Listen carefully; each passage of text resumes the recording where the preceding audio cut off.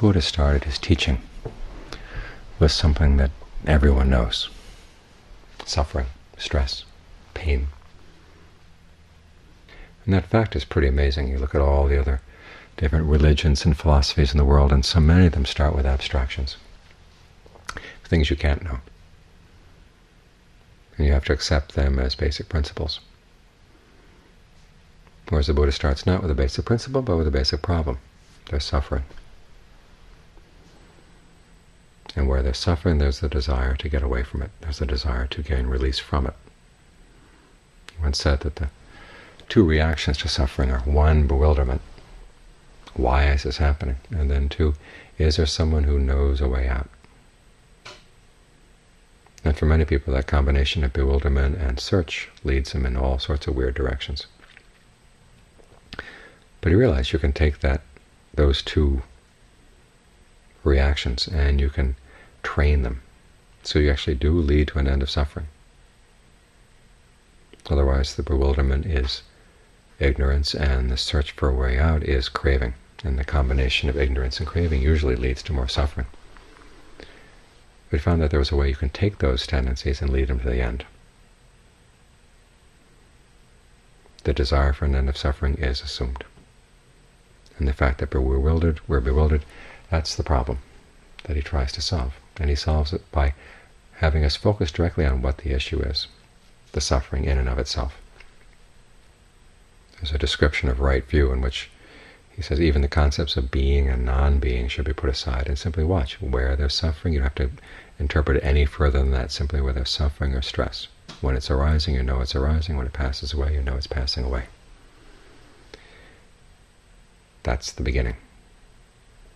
Because you want to see what arises and passes away along with it. So try to keep things immediate in your practice. The issue is right here, right in front of your nose, right in your own heart. And if you get abstract, you get away from the actual problem, and you also get away from the solution. That's the second thing that's amazing about the Buddhist teaching. The solution lies right here, too. It's something we can all know as well. Simply we haven't been paying careful attention. So this is why we work at concentration, why we work at meditation, is to pay very, very careful attention to what's right here, right now. Tune into this level of awareness where you know for sure where there's stress or suffering arising, where you know for sure where it's passing away. So much of Buddhist philosophy is the story of how people don't want to look right here. They want to find you know basic principles, deal in abstractions.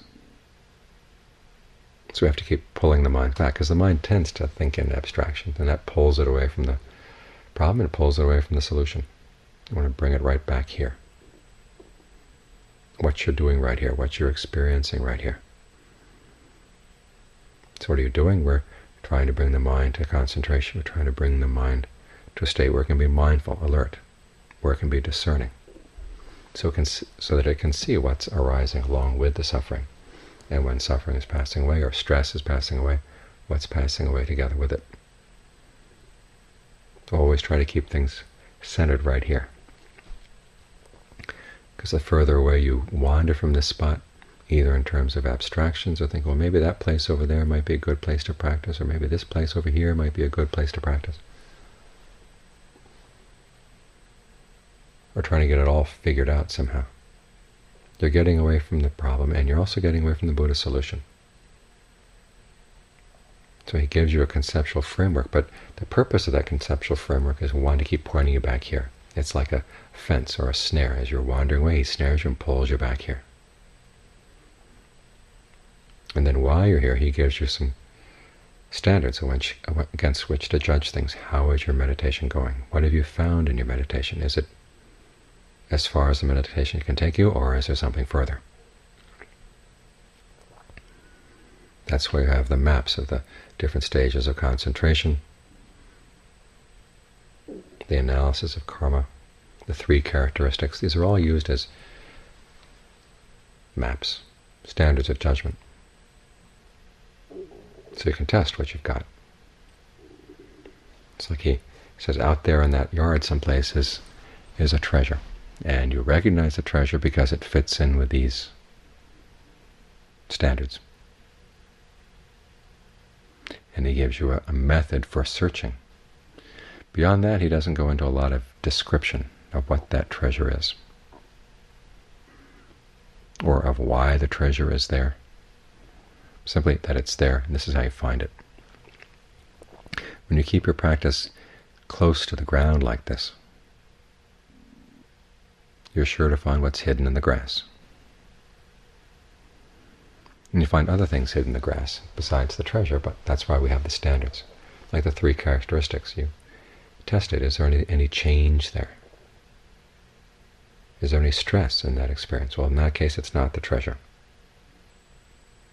You don't want to identify with it. You don't want to hold on to it. You use it sometimes, as you use states of concentration. But you don't want to stop there. There's more. So even though we read up on the Buddha's teachings to get a general idea of what it's all about, the teachings are meant to keep pointing us right here, right now, where there's stress, where there's suffering, where the stress passes away, and to keep our level of awareness on that mode of perception. Presence, absence of stress. We could elaborate further from this, but that gets away from the solution. So look at what you're doing. Is there anything you're doing that's unnecessary, that's causing an unnecessary burden for the mind? Just drop it.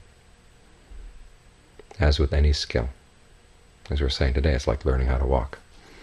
When you first walk, you use as many muscles in the body as you can because you're afraid of falling over, and you don't know which ones are necessary and which ones aren't, and so you tend to use too much. And as a result, the, the walking is a very laborious process. But as you begin to sort out which muscles have to be involved and which ones don't, the walking becomes more graceful, less of a burden, less of a less of an effort. And it's just what follow the same process with your meditation. To get the mind to settle down requires one set of skills or one set of activities. Once it's beginning to settle down and get really centered on the breath, the breath feels comfortable, you find that a lot of the techniques you use, a lot of the guardrails you put up for yourself, you don't need anymore, so you can drop them. And it's this simple process of seeing what you're doing that's causing unnecessary stress and learning how to drop it. All the basic teachings lie right there. The path lies right there. The Four Noble Truths lie right there. Simply that as you get more and more acquainted here with the present moment, you get more sensitive. You catch things that you didn't see before, things you assumed that they simply had to be that way. Well, they don't have to be that way. So keep your attention close to the ground right here. As Ajaan Lee once said, the Buddha found awakening right at the tip of his nose. It's right here.